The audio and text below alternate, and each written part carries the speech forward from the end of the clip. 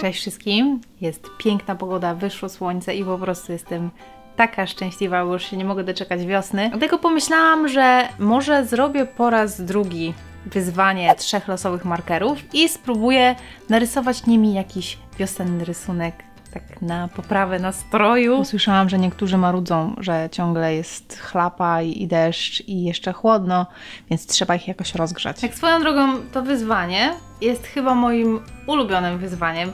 Może dlatego, że trochę mi przypomina te czasy, kiedy nie miałam zbyt wielu markerów i musiałam sobie radzić niewielką ilością kolorów. A może po prostu to jest kwestia tego, że kiedy ma się niewielki wybór, to trzeba zacząć kombinować i uruchamiać swoją głowę, żeby wyobraźnia mocniej pracowała. Chyba wtedy człowiek wpada na ciekawsze pomysły. No dobra, mam już gotowe moje propikuncie do losowania, ale przeniesiemy się z nimi w jakieś ładniejsze miejsce.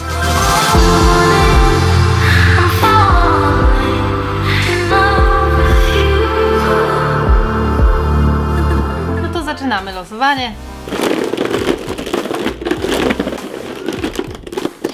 Pierwszy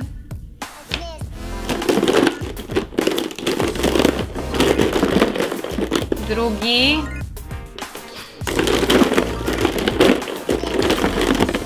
Trzeci. Zielony, mam zielony!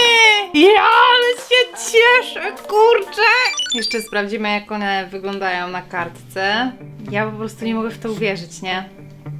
Idealne wiosenne kolory. Autentycznie nie mogę w to uwierzyć. Naprawdę przysięgam, ja tego to nie jest fake. Ja to wylosowałam. No dobra, to czas zabrać się za rysowanie.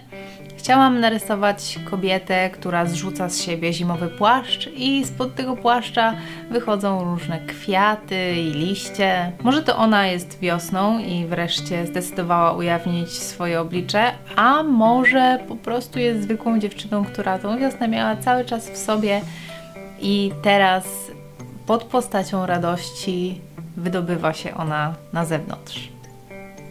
Może być tak?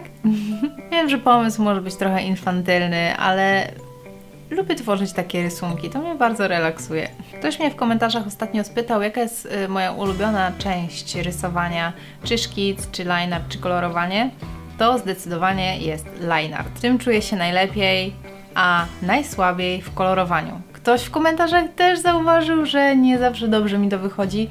I tak, przyznaję się bez bicia, ja czuję, że chyba nie mam takiego wyczucia do kolorów, ale nie ma w tym nic złego, bo tak jak wiecie, ja rysuję, bo lubię i sprawia mi to przyjemność. I niekoniecznie muszę być perfekcyjna we wszystkim, co robię.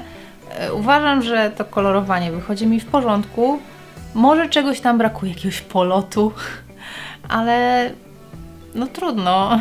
Też wychodzę z założenia, że nawet jeżeli coś do końca nie wyjdzie, e, czy to może zły kolor dobiorę albo z czymś przesadzę, to najważniejsze jest wykończenie rysunku. I uważam, że jeżeli na, ty, na, takim rysunku jest naprawdę bardzo dużo szczegółów i widać, że rysunek jest dopracowany, to można przymknąć oko na to, jak coś nie wyjdzie. Najważniejsze jest, żeby rysunek był staranny, żeby było widać, że ktoś włożył w niego naprawdę dużo pracy i wtedy ludzie go docenią. I naprawdę polecam wszystkim biały żelopis do wykończenia rysunku, bo to zawsze nadaje takiej świeżości i podkreśla detal. Rysunek jest już skończony. Napiszcie w komentarzach, co Wy jaką część rysowania Wy lubicie najbardziej, tak, tak można to powiedzieć. Właśnie czy szkic, czy line art, czy kolorowanie, w czym czujecie się najlepiej. Ja tutaj pokazuję Wasze prace z poprzedniego odcinka. Bardzo za nie dziękuję i cieszę się, że się podpisujecie. Także w tym przypadku, że pisaliście tytuły książek, no bo jak ktoś nie pisał, to nie wiedziałam do, do czego to, no i nie miałam jak dodać do filmu. Więc zawsze pamiętajcie o opisie. E, rysunki wysyłajcie na osikovamałpa.gmail.com na następny tydzień, na czwartek, chciałabym, żebyście narysowali mi coś, wykorzystując tylko trzy kolory kredek, markerów, może cienkopisów. Dobra, to już wszystko. Dziękuję za uwagę, trzymajcie się i pa pa pa pa pa!